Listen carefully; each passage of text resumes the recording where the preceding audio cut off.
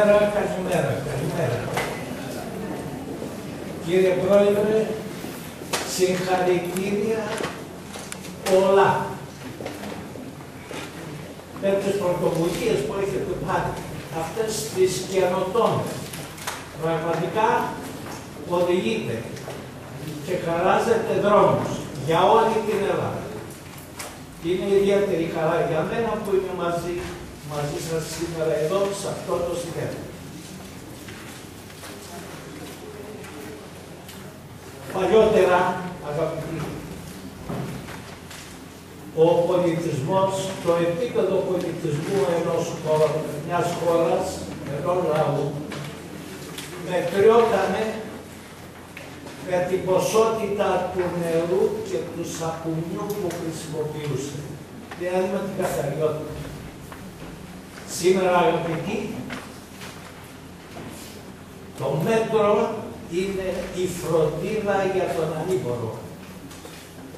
Και αυτή η φροντίδα δίνεται με την καρδιά περισσότερο και εδώ από ό,τι βλέπω το θεραπευτήριο στον Άγιο Νικόλαο έχει πλούσια καρδιά και οδηγεί τους ανθρώπους με αυτή την πλούσια καρδιά.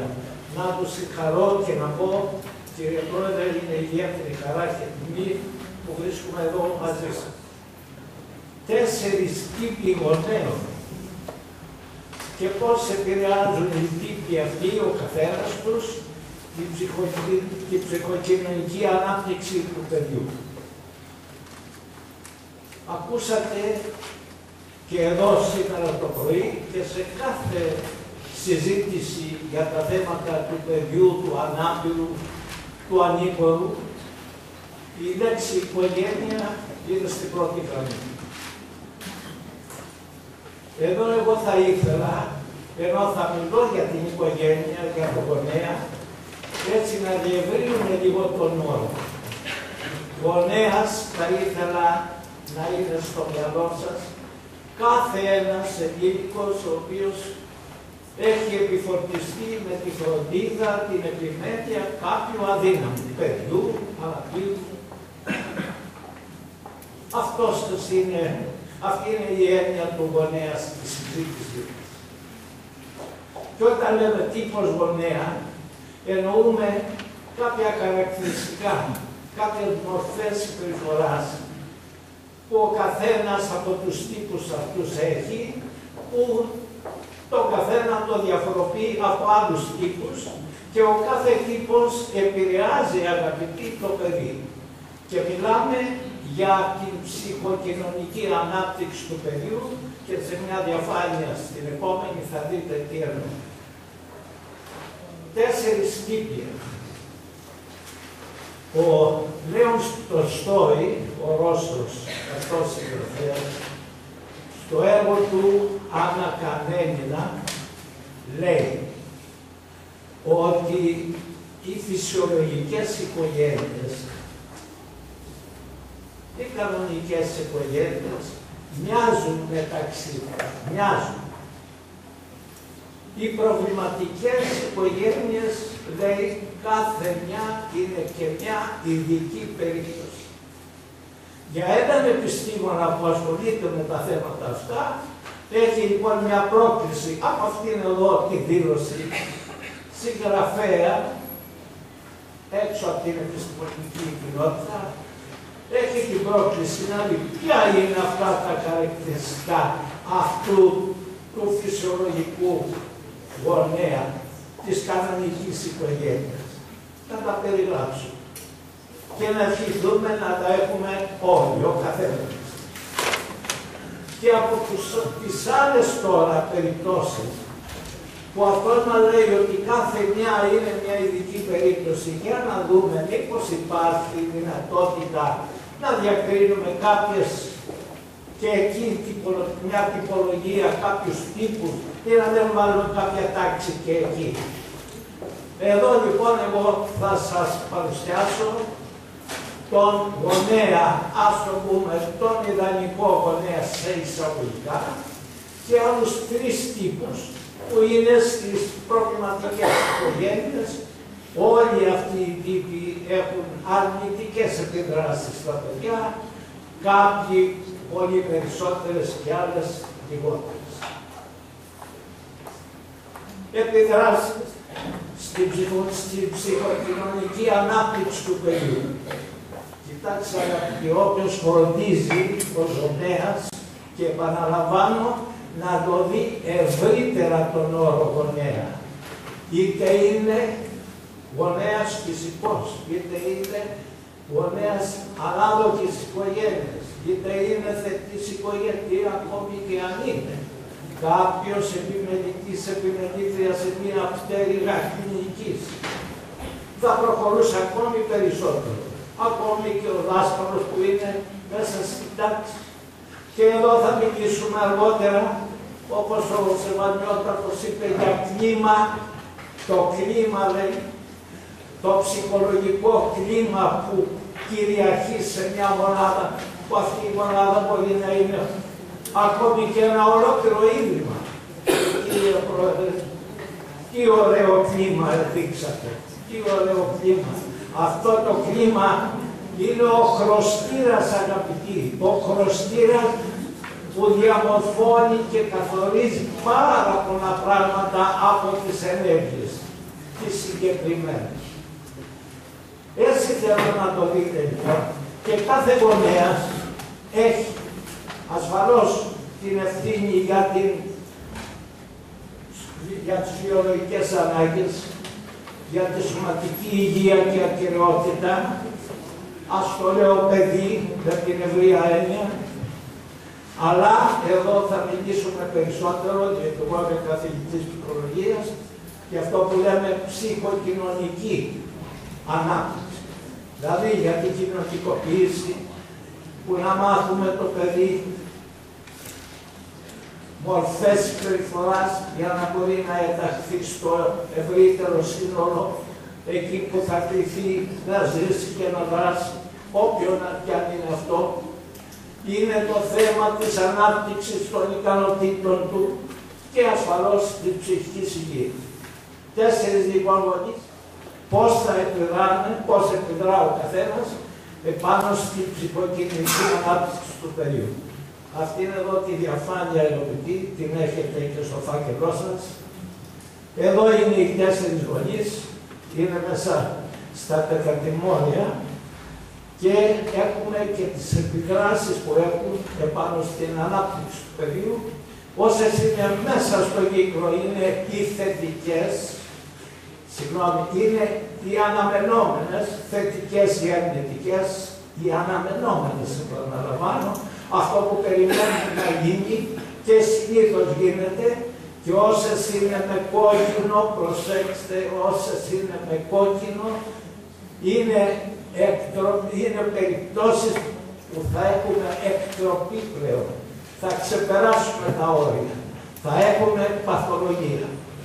Είναι λίγο πυκνή αυτή η διαφάνεια, αλλά θα την έχετε στο φάκελό σας, θα την, θα τη συζητήσουμε και στη συνέχεια. Αλλά δούμε τα πράγματα έτσι αναλυτικά. Αυτά που θα σας πω αγαπητοί δεν είναι μόνο θεωρητικές απόψεις, έχουν προκύψει από έρευνα. Έρευνα με πολλές μορφές οικογένειας. Δέστε, ε, μια μορφή οικογένειας είναι οι φυσικές οικογένειες, οι πολλές οικογένειες.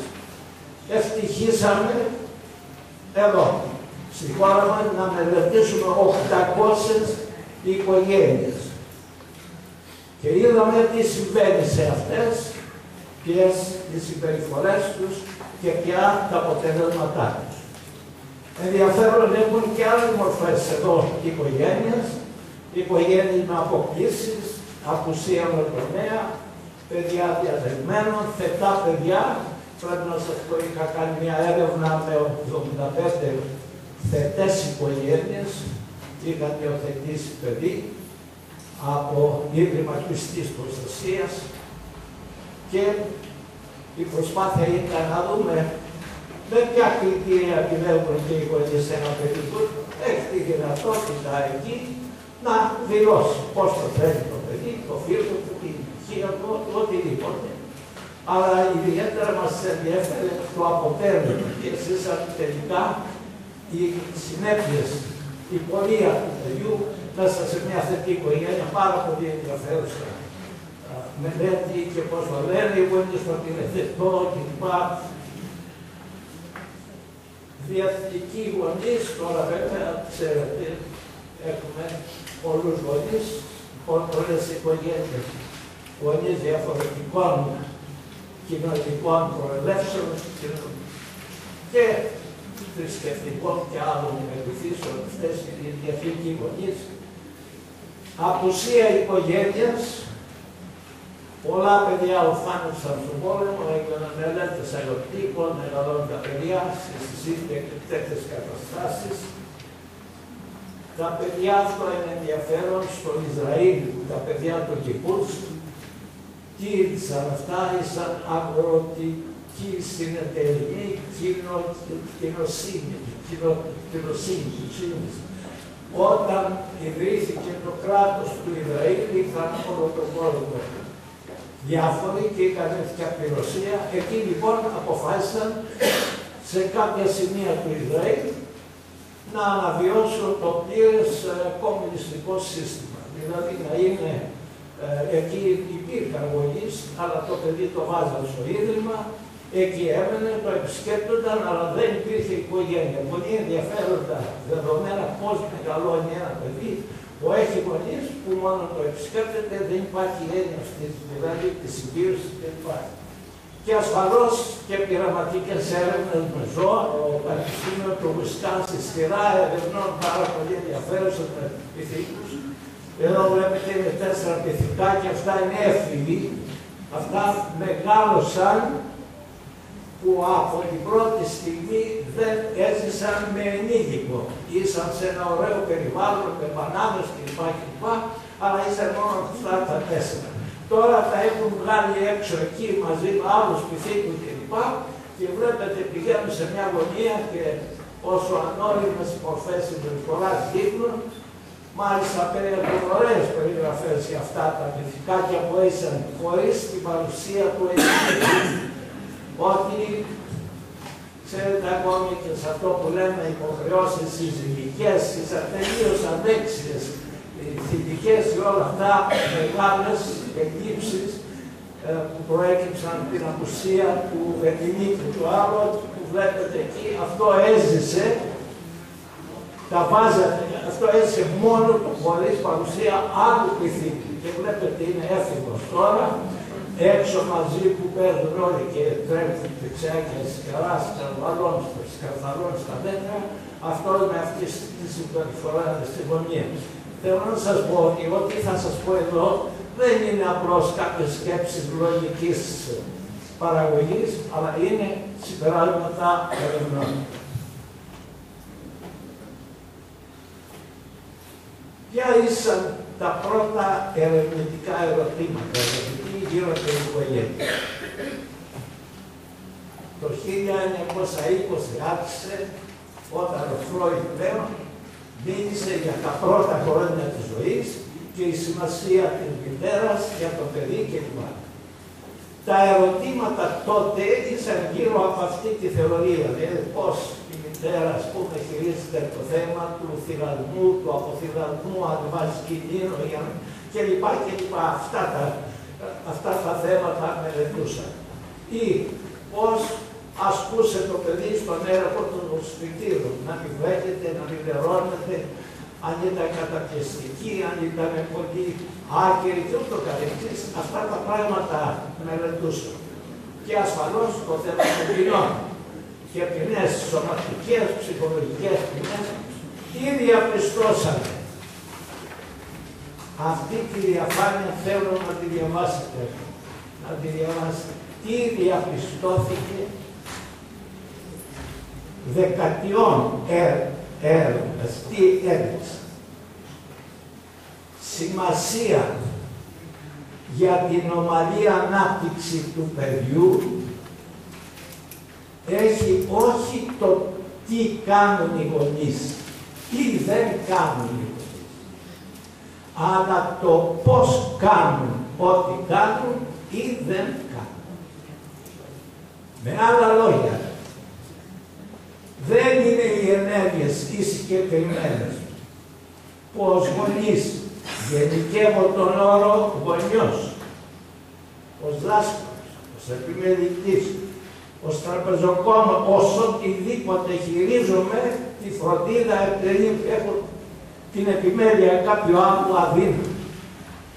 Δεν έχει τόσο μεγάλη σημασία η, η, η συγκεκριμένη ενέργεια. Ή ακόμη και αν πούμε εγώ δεν το κάνω αυτό. Ούτε αυτό έχει σημασία. Σημασία έχει το πώς κάνεις ό,τι κάνεις και πώς δεν κάνεις ό,τι κάνεις. Είναι το συναισθηματικό περίβλημα, το ψυχολογικό περίβλημα της πράξης. Να πω ένα παράδειγμα. Βέβαια δεν είναι και τόσο πετυχημένο, αλλά έτσι επειδή είναι ακραίο, ας το πω. Ας πούμε, το, η σωματική βία. Ο γονιός, κάποιος γονιός παίρνει το παιδί. Εάν έρθεις σε μένα το ψυχολόγο και μου πει είτε το παιδί ότι με έδαινε ο γονιός ή ο γονιός το έδαινα, δεν του δίνω και πολύ μεγάλη σημασία. Το δεύτερο ερώτημα είναι πώς, πώς συνέβαινε αυτό το πράγμα. Και να σας περιγράψω δύο διαφορετικές περιπτώσεις. Καταρχήν μην πάτε και πείτε ότι ο Παρασκευόπουλος μας είπε να παίρνουμε, αλλά να προσέχουμε το πώς, αλλά προς το παίρνω, επειδή είναι ακραίο, δεν χρειάζεται αγαπητοί να δίνουμε κανένα, υπάρχουν άλλοι τρόποι να χειραγωγήσουμε τα παιδιά, τρόποι που τιμούν και εμάς τους γονείς και εξυπηρετούν τα παιδιά να έχουν καλή πόρευση. Διότι η βία προκαλεί βία, αλλά αφήστε με να το ολοκληρώσω. Εδώ είναι ο πατέρας, ο Κωστάκης εκεί, έχει πάρει ένα βαλίκι και χτυπάει. Κωστάκη, σε παρακαλώ, αυτό με ενοχλεί, σταμάτα. Ο Κωστάκη. Συνεχίζει.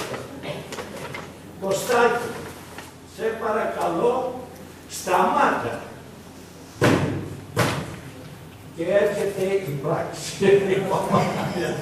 Σηκώνεται πάνω, ξέρετε. Βέβαια, προχωράει και σε δεκτικά. Ε.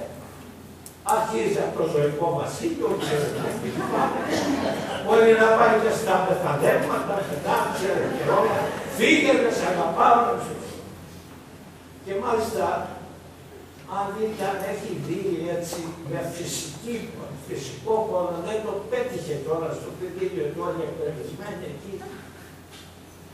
Αυτό, αγαπητοί, είναι μία περίπτωση επιμονής σωματικής πληγής. Ας πάρουμε μία άλλη. Ο Κωστάκης. Ο πατέρας Κωστάκης το ίδιο. Σηκώνεται. Πάει, τραπ, τραπ, άκουσε. Εσύ είσαι παιδί μου. Για μένα είσαι παιδί μου και σε αγαπώ. Ό,τι και να κάνεις, αλλά κάνεις κάποια πράγματα τα οποία δεν είναι σωστά. Και εγώ είμαι κουρασμένος, θέλω να ηρεμήσω, ε, να σεβόμαστε τα συναισθήματα του άλλου κλπ. Αλλά εγώ για σένα είμαι ο πατέρας σου. Δεν άλλαξε τίποτε στη σχέση μου. Αλλά σε τιμωρώ για αυτή την πράξη. Κοιτάξτε, στην πρώτη, στην πρώτη περίπτωση η βία ή αυτή η απέκτεια πράξη αναφέρεται στο πρόσωπο, στο φίλο, δεν σε θέλω, είσαι τούτο, είσαι εκείνο, να με σε ξαναδώ. Λες και η αγάπη είναι κάμουλα, να την ανοίγεις και να την δείξεις. Ενώ στην άλλη υπήρξε μια τιμωρία. Απευθεία, παραλαμβάνω, μην παρεμεινεθώ, αλλά εκεί ήταν στη συγκεκριμένη πράξη, όχι στο πρόσωπο. Αυτό λοιπόν αγαπητοί το, ας το πούμε, το πώς Το πώς η Μαριλένα λέει και αυτό ένα τραγούδι. Θέλω να σ' ακούω, ε, να σ' ακούω κάτι να λέει. Τα είναι στις σειρές. Ένα τραγούδι. Θέλω να σ' ακούω, να σ' ακούω. Θα δούμε τι είναι αυτό που πρέπει να λες. Είναι και να βγάσουμε στη συνέχεια. Λοιπόν, με λίγα λόγια αγαπητοί. Όταν λέμε για το τι και για το πώς, ουσιαστικά μιλάμε για το ψυχολογικό κλίμα. Αυτό το ψυχολογικό κλίμα, αγαπητοί, καθορίζεται από διάφορους παράγοντες, μέσα στην οικογένεια, μέσα στο ίδρυμα, μέσα σε οποιαδήποτε μονάδα.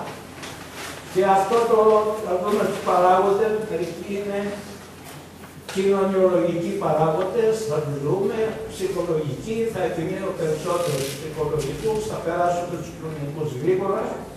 Το ένα είναι το προσωπικό επίπεδο, ασφαλώς και το οικονομικό επίπεδο της οικογένειας, η γραμμή αυτή εδώ πώς έχουμε τον φαύλο κύκλο, μια οικογένεια η οποία είναι χαμηλότερο προσωπικού οικονομικού επίπεδου, πώς τελικά καταλήγει να ξαναγυρίζει και να επανέρχεται να αφήνει ο φαύλος κύκλος της φτώχειας και της και του χαμηλού προσωπικού επίπεδου. Το άλλο είναι η σύνθεση της οικογένειας. Αν είναι πολυμελής οικογένεια, αν είναι ολιγομελή, το μοναχοπέδι κλπ.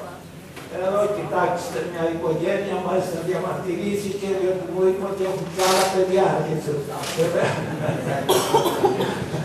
Εντάξει, λέω να μου τη στείλατε να του βάλουμε και άλλα, βέβαια.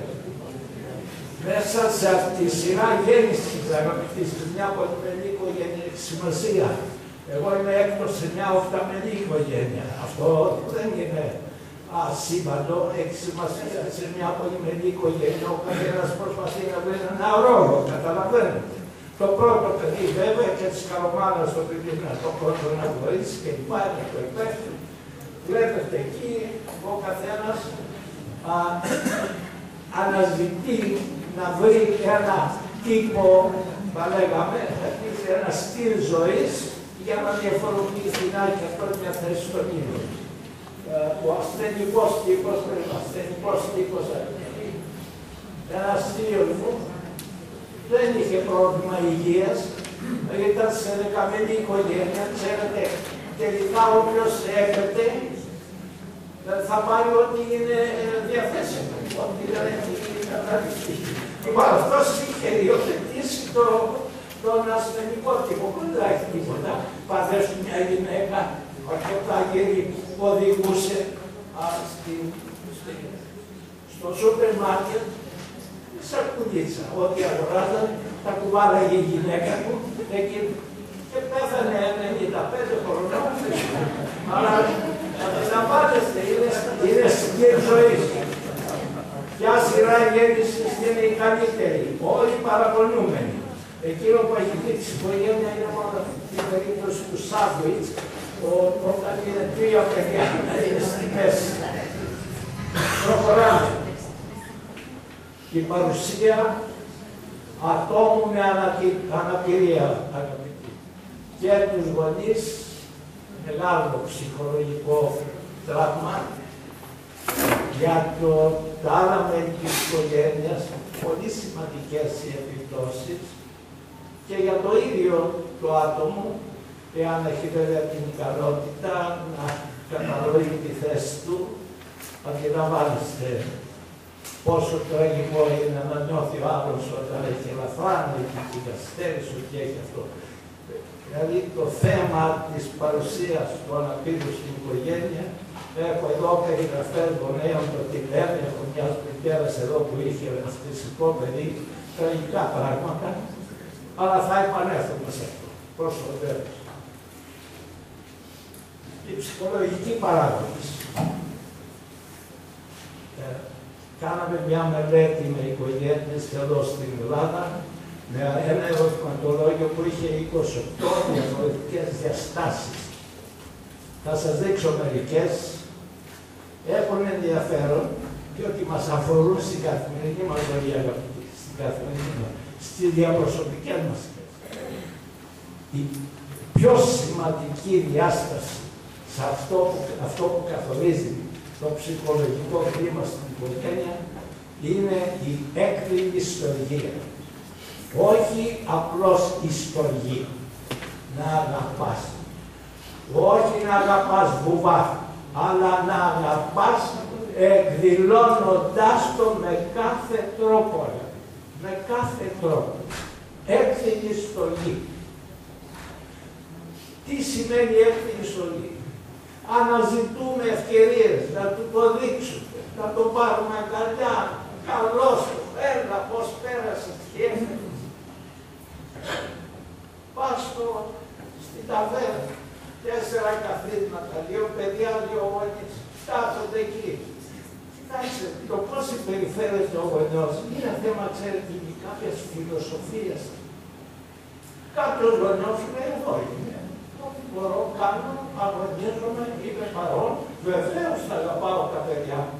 Αλλά τώρα όχι σαν διαρρήγματα. Κάπως έτσι το θεωρεί, ας πούμε. Δεν χρειάζονται αυτά. Να είμαστε και λίγο σοβαροί. Όχι, αγαπητοί. Όχι.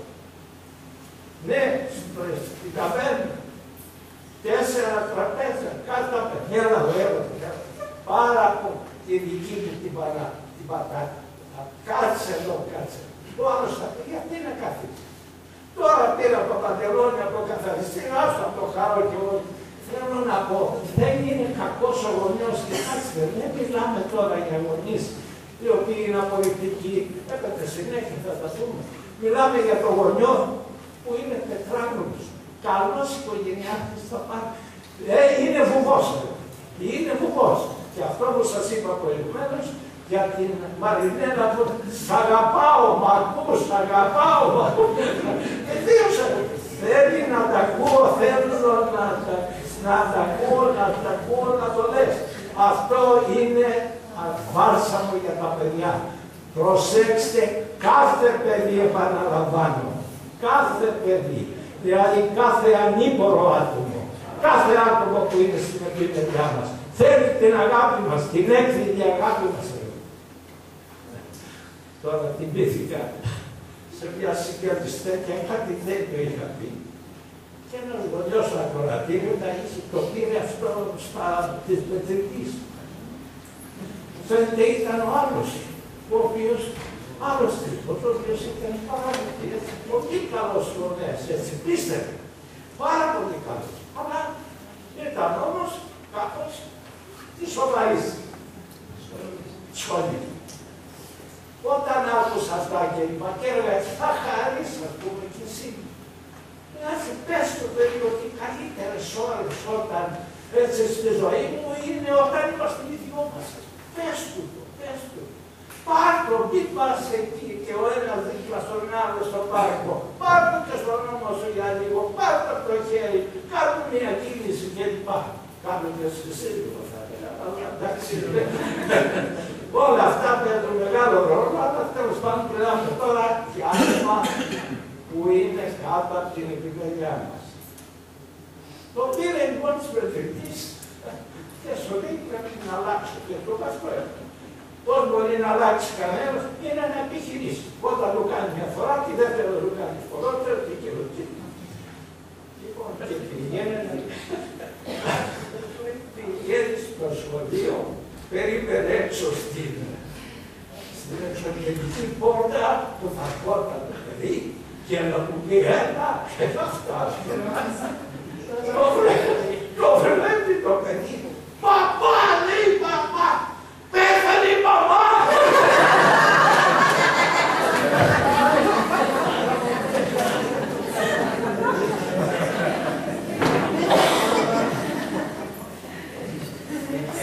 Άλλη διάσταση αγαπητή στην οικογένεια. Η λεγόμενη απόρριψη. Όταν λέμε απόρριψη, δεν εννοούμε ότι το αφήνει το παιδί σε κάποια βαριά σύνδεμα απ' έξω κλπ. Μιλάμε για τη στάση του γονέας. Πώς είναι ο απολυτικό γονέας. Πας σε ένα σπίτι, ρίξε μια ματιά να δεις τι γίνεται. Ακούς, σου λέει, έκανε κάτι το παιδί, λίγο νερό κάτι. Άλλη μια γάρα τα έκανες.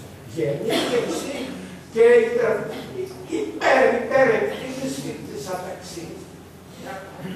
Έριξε κάτι το πάλι τάσπασε, δεν άφησες τίποτε όχι. Απορριπτική στάση. Είναι δύο μορφές αγαπητική απόρριψης. Είναι αυτό που λέμε μια εχθρότητα, το θεωρεί παρίστακτο κατά κάποιο τρόπο το παιδί ή, ή το θεωρεί πνευματικολογίας, το θεωρείς ότι είναι πλέον αδιόρθωτο, όλα μεγιστοποιεί τα λάθη του παπά, δεν συμφιλιώνει καν σύγκρι κάποια σύγκρουση, όλα αυτά τα πράγματα, αλλά είναι πάρα πολύ, δεν είναι ακραία για να τα λέει κανένα εύκολα, είναι όμως μια συνεχής διαδικασία μέσα στην οικογένεια. Ή η αδιαφορία έχει δύο μορφές και απολυτική στάση. Διηγητήριο για το παιδί αυτό. Ό,τι χειρότερο μπορεί να συμβεί σε ασθενή. Ο γονιός πλέον να το έχει είτε στο δουλάπι της αδιαφορίας, είτε να το έχει στο μάτι και συνέχεια, να το βρίσκει ότι κάνει λάθη, να επενεί τα άλλα παιδιά του και εκείνο έτσι και λοιπά και λοιπά. Τρόπος χειραγώγησης του παιδιού. Ενθάρρυνση της αυτονομίας. Θα τα πούμε. Μέσα όμως σε όρια. Δηλαδή και μάλιστα δίνουν ευκαιρίες στο παιδί για επιτεύγματα. Τα παιδιά θέλουν να, κατα... να καταφέρουν πράγματα, να έχουν επιτεύγματα. Δώστε ευκαιρία. Μην είδαμε εδώ στο εστιατόριο μια μάνα τάιζε. Πρέπει να ήταν Ελληνίδα. Φαντάζομαι δεν πρέπει να ήταν ξένη. Το παιδί δυόμιση τριών χρονών το τάιζε στο σώμα. Δείκτης αυτονομίας του παιδιού και της σωστής πορείας του είναι η αυτοεξυπηρέτηση, ο δείκτης αυτοεξυπηρέτησης του. Βοηθήστε. Εντάξει, θα πάρει το κουτάλι, όταν πάει στα αυτή την πρώτη φορά, το πάει. Το δεύτερο του φέρει πιο και ασκούμενο το παιδί, θα γίνεται κάθε μέρα καλύτερο. Όχι όμως να φτάνουμε σαν μητέρες πολλές απόδεις και λοιπά. Τα γνωστά. Να το περνάμε και από το δείξε μήπως και το παιδί. Όχι αγαπητοί, ευκαιρίες για αυτονομία, αλλά θα πούμε και μέσα, στα, μέσα σε όρια. Τι σημαίνει αυτονομία μέσα σε όρια; Εντάξει, το παιδί δίνεται να πάει στο σχολείο. Ε, άστο. Να διαλέξει μόνο του. Ε, μα έλα, το πάει αυτό, τώρα έχει κρύο. Εξήγησε το παιδί, έχει κρύο έξω και αυτό. Έλα εδώ να δούμε ποια είναι τα κατάλληλα για την εποχή. Ένα, δύο, τρία, τέσσερα, δύο, ό,τι έχουμε, φόρεσε όποιο θέλεις. Από εκεί και πέρα του έβαλες στα όρια αγαπητοί, μέσα εκεί στα όρια, άστρο το παιδί να φτενεγήσει, να φτιάξει και αυτό το γούστο του κλπ. Ή πας, πάλι θα πάω την ταβέρνα, διότι όλοι πήγαμε στην ταβέρνα με τα παιδιά μας. Ναι, θέλει να τα βρεις κάπου ελεύθερα. Άφησε Βγες όμως έξω διότι έχεις έτσι μεγάλη. Παρακολούθησε μήπως ή κανένα πηγάδι, κανένα στενό δρομάκι. Όπου λοιπόν εκεί είναι χώρος ασφαλής, τα παιδιά ελεύθερα. Και δεν θα λέει μέχρι εκεί πέρα, εκεί, μέχρι εκεί όχι από την πόλη, θα το τρέξεις και θα το δείξεις, θα είναι σαφή τα όρια. Θυμάμαι τη γυναίκα μου, πώς δεν είναι εδώ μάλλον. Μα εδώ είναι. Πού τα παιδιά, πού τα παιδιά. Πού τα παιδιά, τα παιδιά εκεί. Άγχος αγαπητοί, άγχος. Εντάξει, πρέπει να έχουμε κάποιο άγχος. Το άγχος είναι ευεργετικό, όχι όμως να μας κατακλείζει. Το άγχος είναι σαν την βροχή, σαν την βροχόπτωση. Όταν είναι σιγανή είναι καλή. Όταν όμως γίνεται κατακλυσμία, εδώ είναι το πέρα, εδώ είναι. Λοιπόν, θέλω να πω, με αυτονομία στα παιδιά μέσα σε όρια ότι αυταρχικότητα και καταπίεση, δικαιολόγηση των αποφάσεων όπου μπορούμε, αυτοκριτική των γονέων Δεν είναι αγαπητοί μου μείωση του ανδρισμού μας αν καθίσουμε και που ένα εδώ τι κάναμε, πώς πήγε η εβδομάδα, πώς φερθήκαμε στα παιδιά, μήπως εκείνη η περίπτωση που βάζα λίγο υπερβολική, ξέρω εγώ, ακόμη και στα παιδιά μπροστά. Δεν απολογούμεθα στα παιδιά. Ούτε ζητάμε έτσι συγγνώμη, συγγνώμη. Όχι, αλλά εξηγούμε. Δεν είναι κακό η συζήτηση, ο διάλογος και ιδιαίτερα το ζευγάρι, το ζευγάρι για να έχουν ιδιότητα στην πορεία, να συνεννόηση αγαπητοί. Όχι απλώς με κραγκές και με χαρακτηρισμούς. Έχει πολύ μεγάλη σημασία αυτοκριτική καθίστε μια φορά την εβδομάδα και με να μιλήσετε τι έκαναμε, πώς πήγαμε. Παροχή ευκαιριών για επιτεύγματα, κοινωνικότητα των γονέων, αγαπητοί, σπίτι που είναι κλειστό, σπίτι κλειστό, κάτι κρύβει. Τι σημαίνει ανοιχτό σπίτι, ο γείτονα, καλημέρα, έλα μέσα, ένα ούζο, ένα κάτι, ένα ρακί, μια κουβέντα.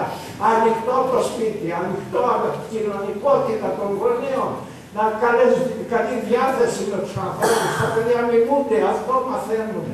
Δώστε το, το έχει σημασία μεγάλη, έχει πολύ μεγάλη σημασία. Κλειστό σπίτι, όταν λέμε εδώ οικογενειακή βία, σεξουαλική, τούτο, εκείνο, όχι στο σπίτι που είναι ανοιχτό, αυτά δεν συμβαίνουν. Αλλού συμβαίνουν. Λοιπόν, κοινωνικότητα, με τίποτα, καλέστε τον γείτονα να καθίσει μια ώρα μαζί να μιλήσετε, έχει τεράστια σημασία για το παιδί. Μιμείτε, βλέπετε. Επιθετικότητα των γονέων. Συμβαίνει να ήμουν σε ένα μεγάλο σχολείο, γενικός γραμματέας, ιδιωτικό. Αμπιστή. Γονέας. Παιδί δημιουργεί προβλήματα. Φέρτε το γονέα εδώ, εγώ Φέρτε το γονέα, αφήστε το παιδί. Όπου βλέπεις παιδί που έχει επιθυμικότητα, πρέπει πίσω του υπάρχουν γονείς οι οποίοι ενθαρρύνουν αυτό το πράγμα ή κάθε μέρα είναι πράξη και το παιδί μιμείται.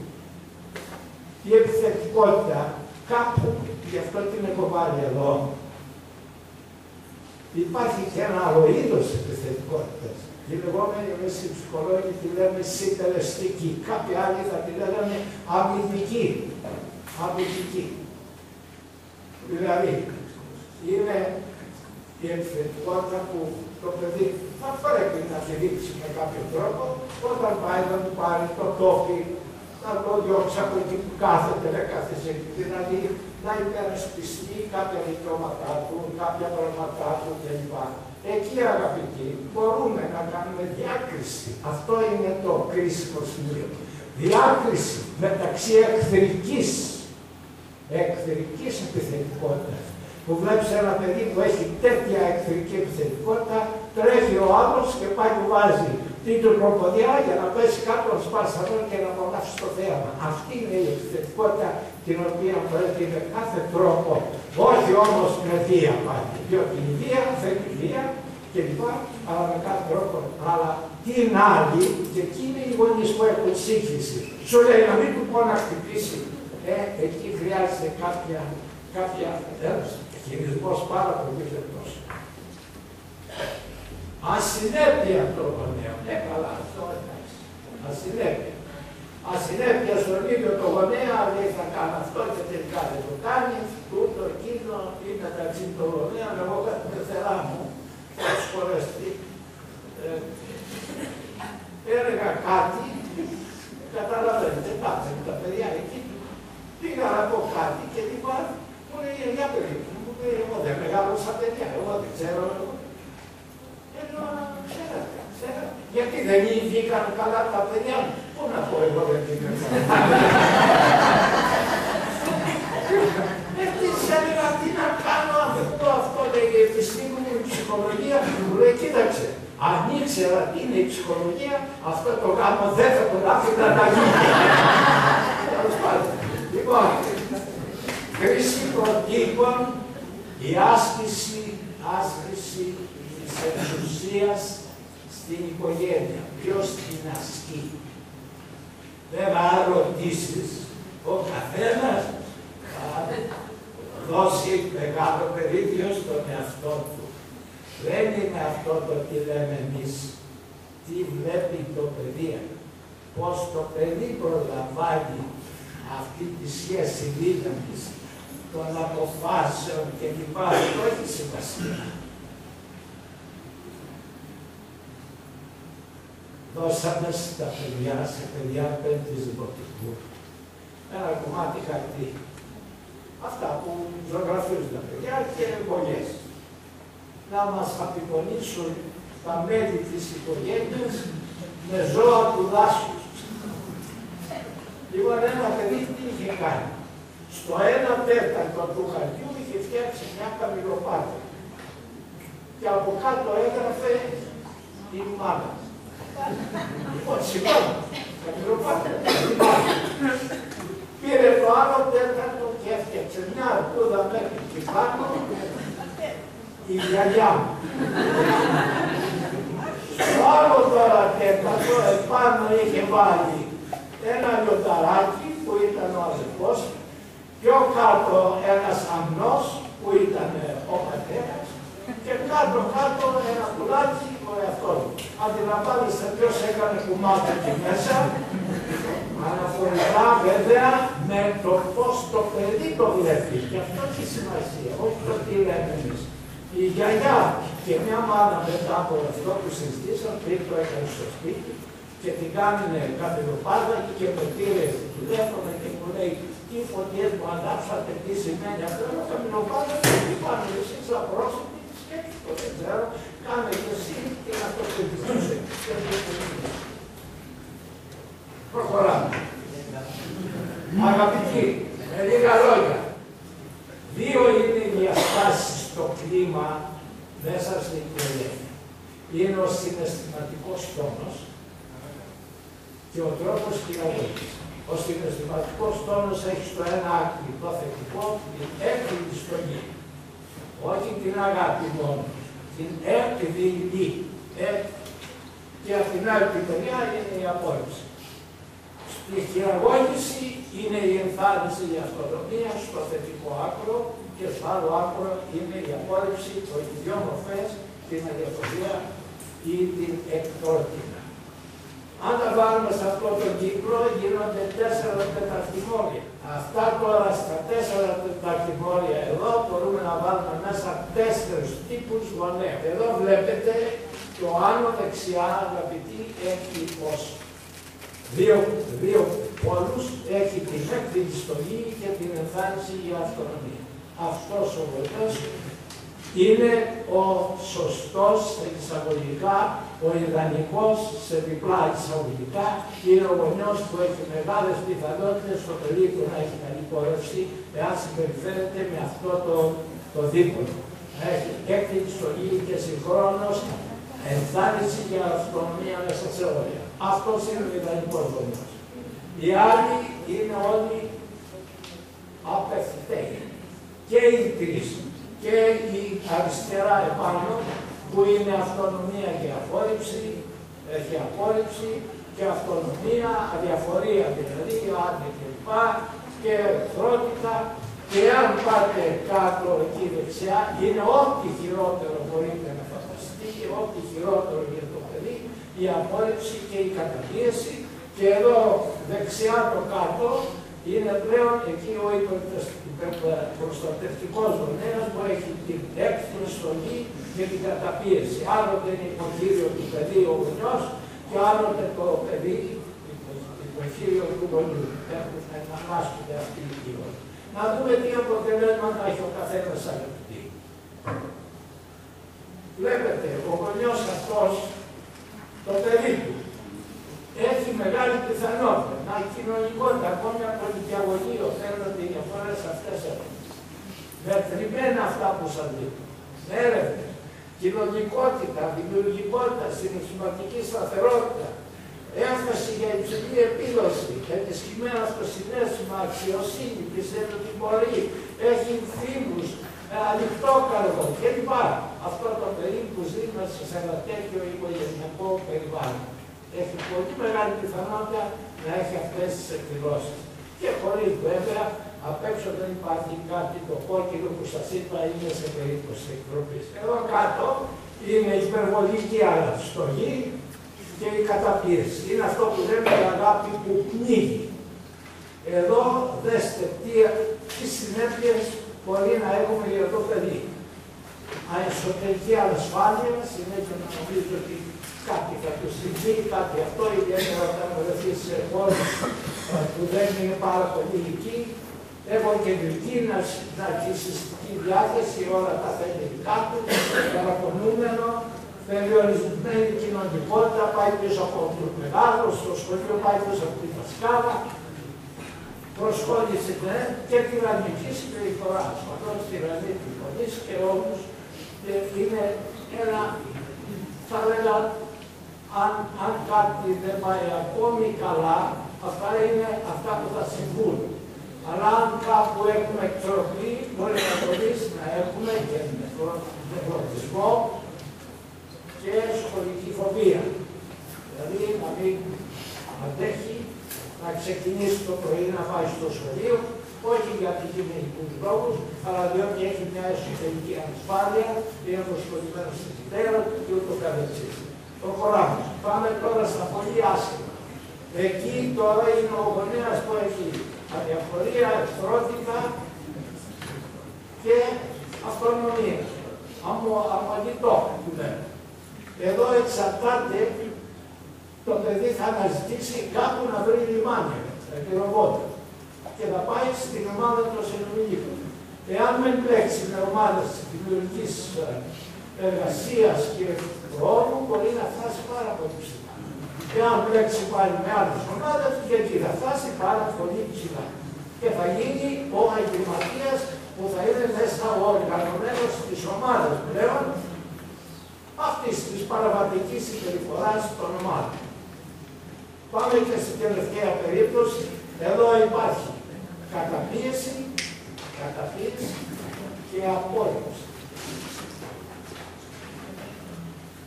Ποιος τύπος βγαίνει από αυτήν εδώ την οικογένεια, προσέξτε. Αυτός ο τύπος είναι ο Γερμανοί το λένε ποδηλάτη. Αυτό είναι τότε τέτοια έτσι ε, απέναντι στους άλλους, στην κοινωνία, τέτοια έκφραση και τέτοια δυσαρέσκεια, που θέλει να πει κάτι. Αλλά την άλλη μεριά έχει μάθει στην υποταγή και το βλέπεις το βάζει στο κεφάλι. Και είναι, είναι προς τους ανωτέρους επιθέστατος και προς τους κατωτέρους αμήνους. Είναι σαν το ποδηλάτι αγαπητοί που από τη μέση και πάνω πετάει και από τη μέση και κάτω του δίνει σκύλι, συγγνώμη, από τη μέση και πάνω σκύλι και από τη μέση και κάτω πετάει. Θα το βρείτε το γραφειοκράτη που ψάχνετε αγαπητοί, θα το βρείτε σε αυτή την οικογένεια. Είναι ο τυπολάτρης, είναι αυτός που άσου λέει το λέει ο νόμος, το λέει διάταξη, αλλά το λέει τώρα, το πού, το τύπο, δεν μπορεί. Θυμάμαι μια περίπτωση χαρακτηριστική έτσι.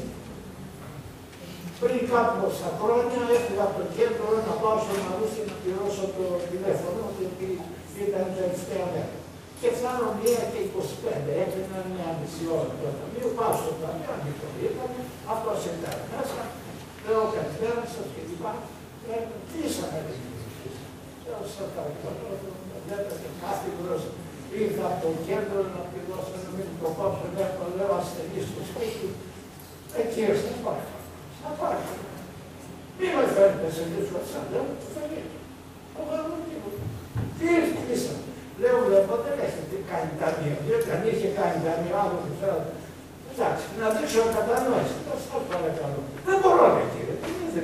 Μα λέει και δεν σέβεσαι, δεν είναι σέβεσαι.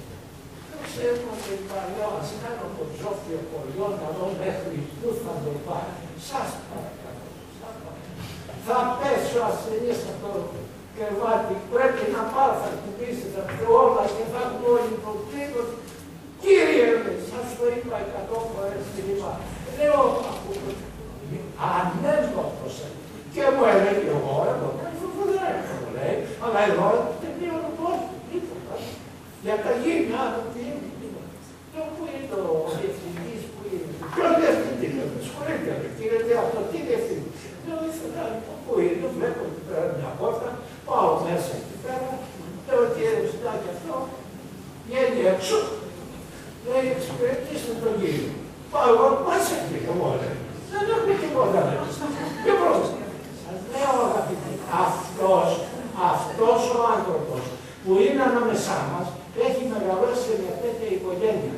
Με εχθρικούς γονείς απολυτικούς και καταπιεστικούς. Δεν τον έχουν αφήσει να αναπνεύσει.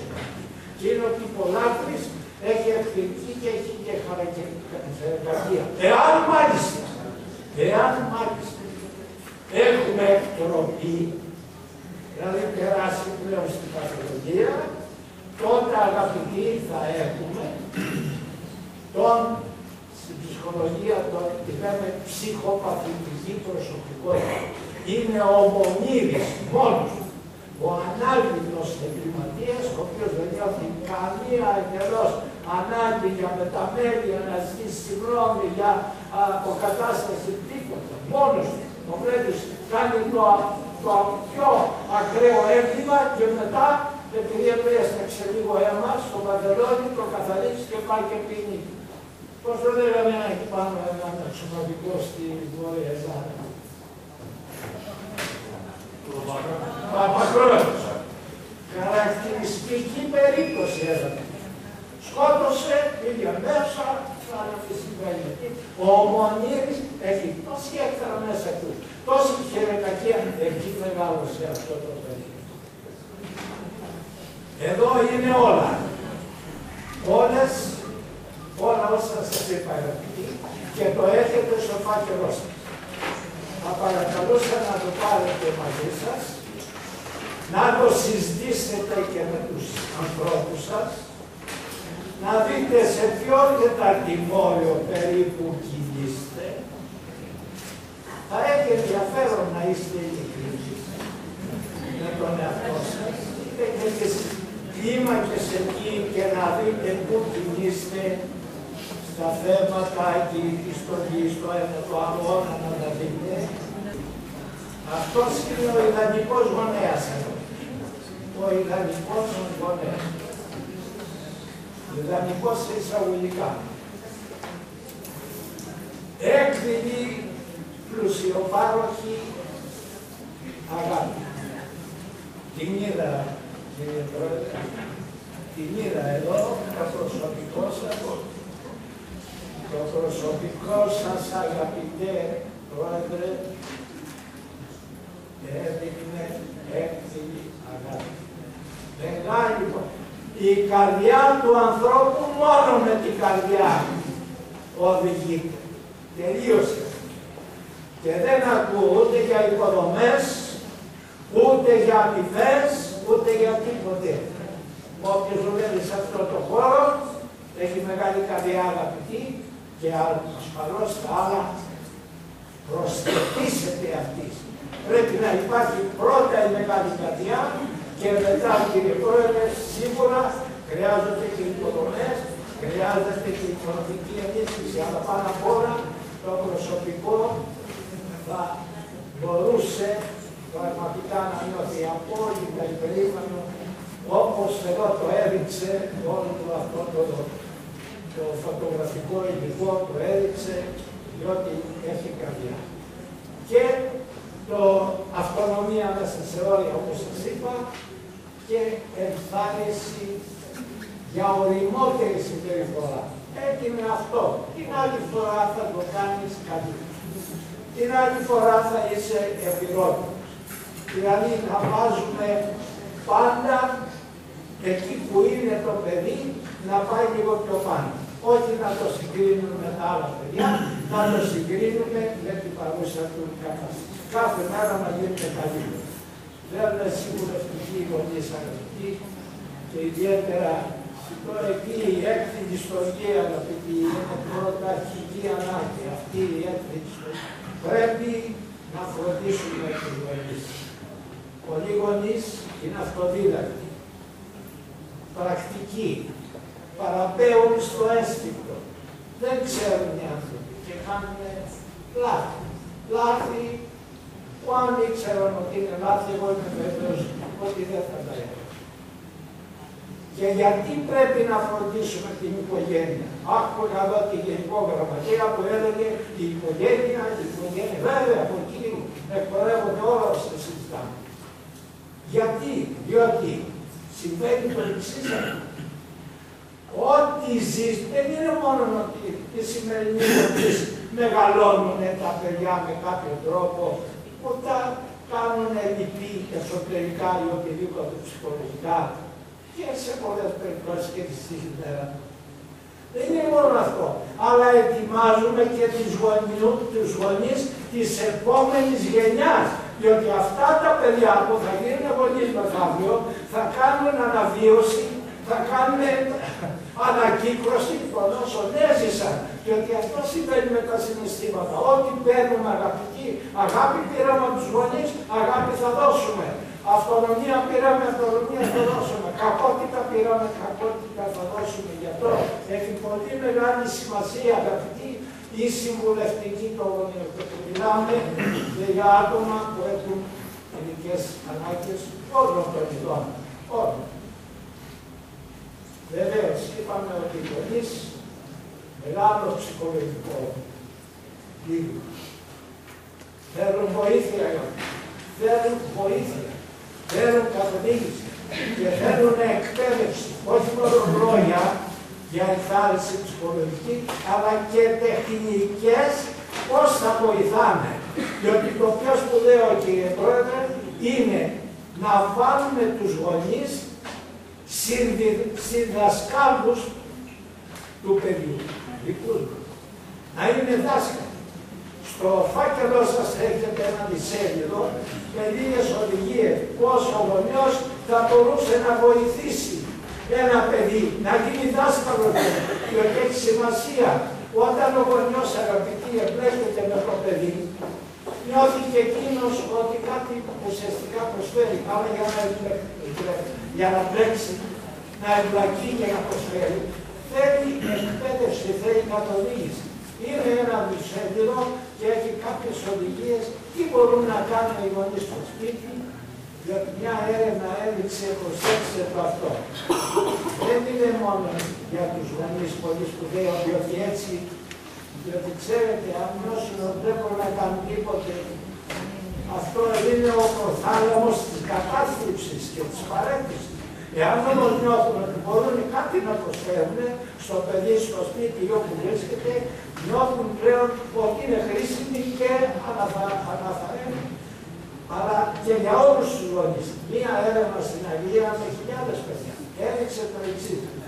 Όπου οι γονείς εμπλέκονται στο μαθησιακό έργο του παιδιού. Δηλαδή το παρακολουθούν, μιλάνε για μου τι έκανατε σήμερα, πώς ήταν αυτό, τι έγραψε εδώ η δασκάλα, έλα να μου τα πεις, έλα να σου πω και εγώ τι κατά και λοιπά.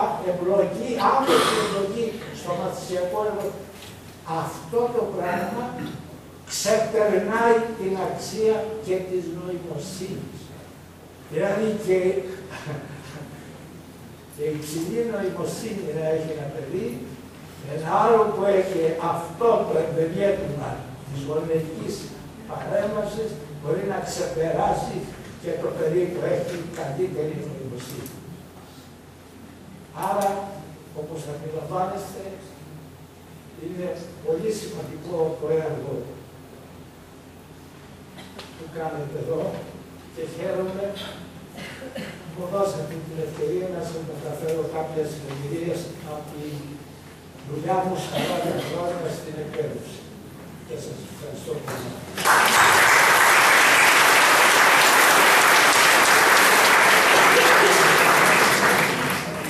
Ευχαριστούμε πολύ τον κύριο Πανασκευόπουλο για την εκπληκτική ομιλία του. Εγώ γονιός δεν είμαι ακόμα, αλλά έμαθα πολλά και ελπίζω να έχω τη δύναμη και την οριμότητα να τα εφαρμόσω. Αν ο Θεός με ασχολήσει με να κάνω παιδιά. Έχουμε, πριν προχωρήσουμε στο διάλειμμα, έχουμε τίποτα ερωτήσεις για τον κύριο Πανασκευόπουλο. Υπάρχει κάποιος που θα ήθελε να ρωτήσει κάτι;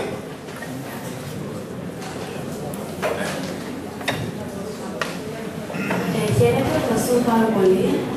Πολύ ωραία αυτά που ακούσαμε.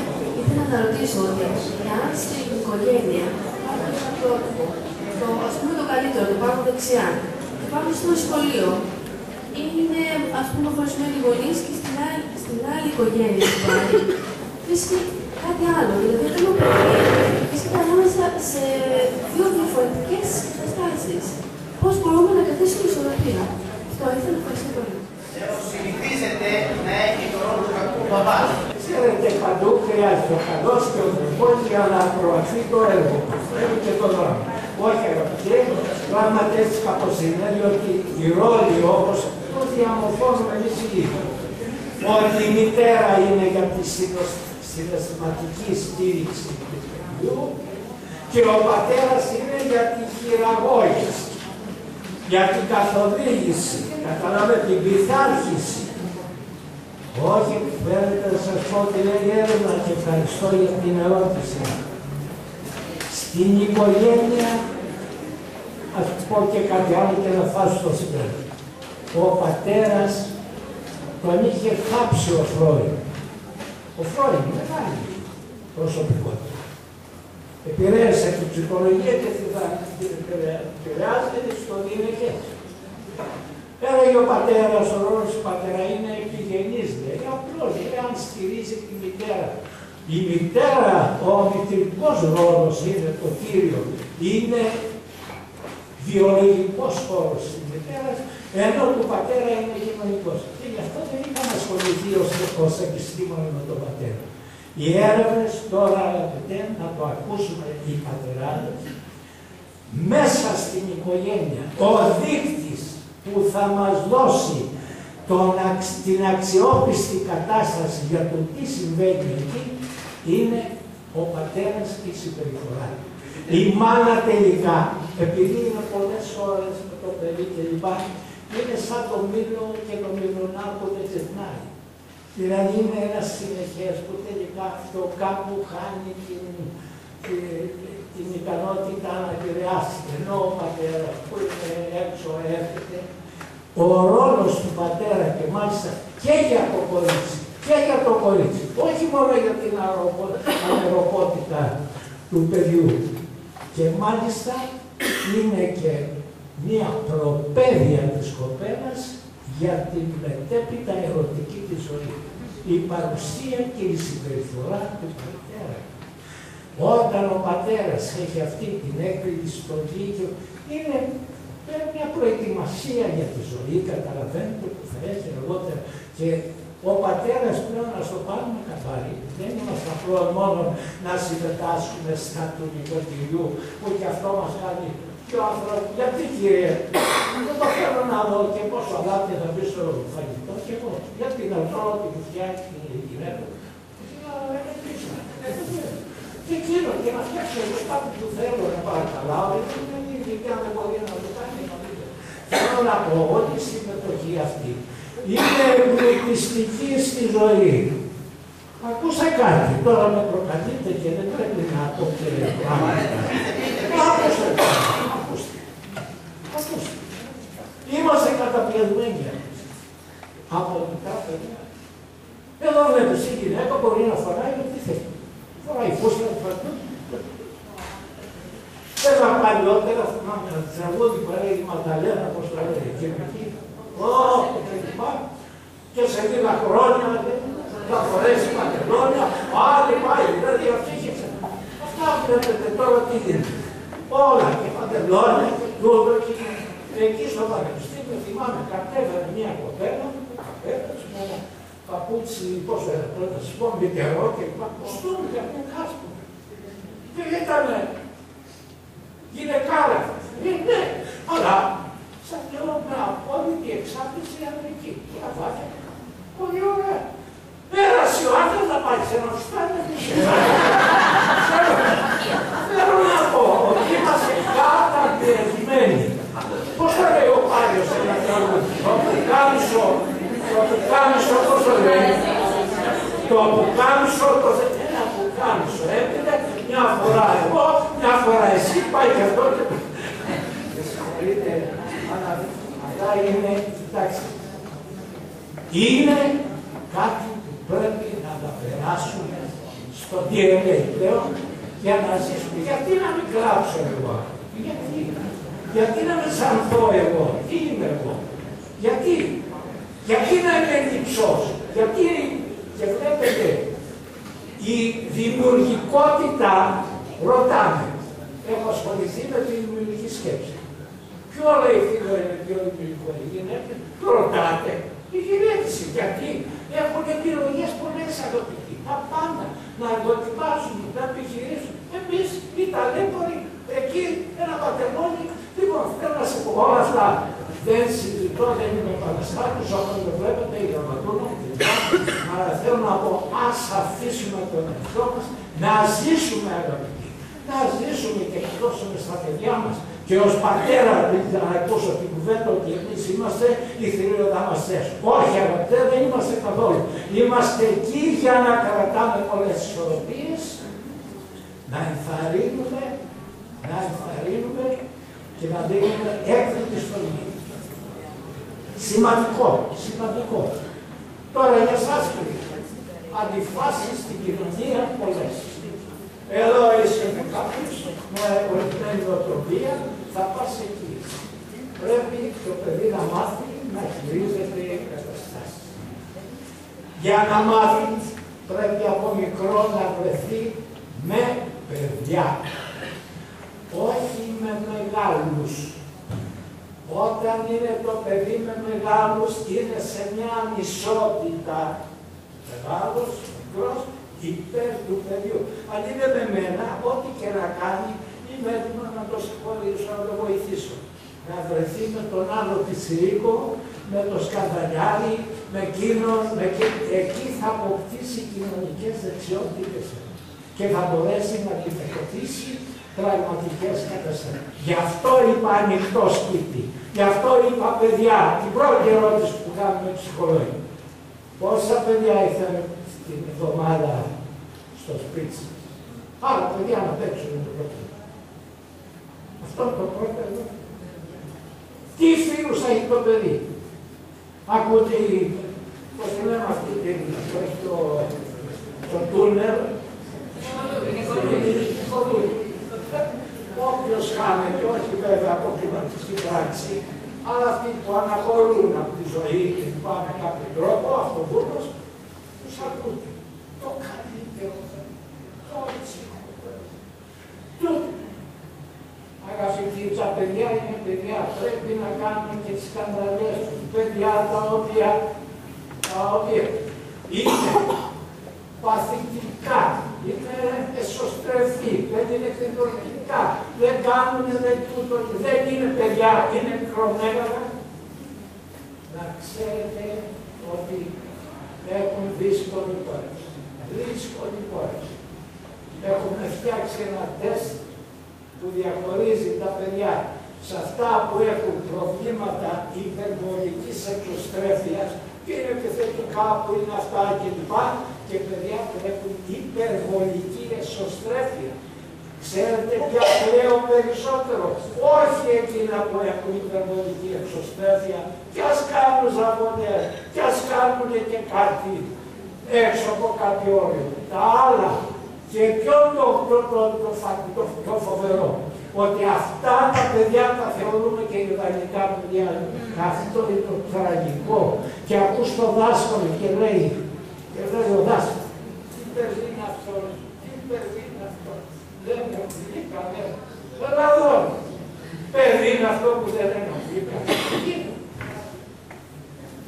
Έχω μια, σε ένα βιβλίο που θα δείτε τώρα είναι στο, στο δεν κάνω διαφήμιση, είναι στο τυπογραφείο. Μάνας, δασκάλα, ήρθε και με βρήκε στο πανεπιστήμιο. Παίρνει μέσα, αφήσει τα κλάμα. Και λέω να την αφήσω σκράψη. Έτσι θα το κάνει. Πάω να κάνω ένα τηλεφώνημα και λοιπά, μέσα και εμένα να απουσιάσω. Ε, ε, συνήθεια. Πήγα. Και αφαιρθήσα, κοιτάζω και λοιπά.